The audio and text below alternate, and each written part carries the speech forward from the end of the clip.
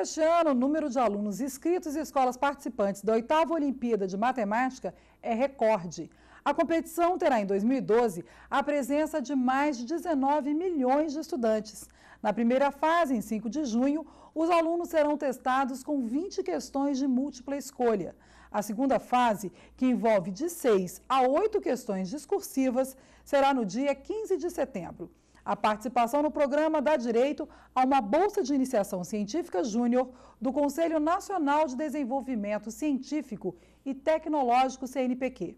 O objetivo é estimular o estudo da matemática entre alunos e professores de todo o país.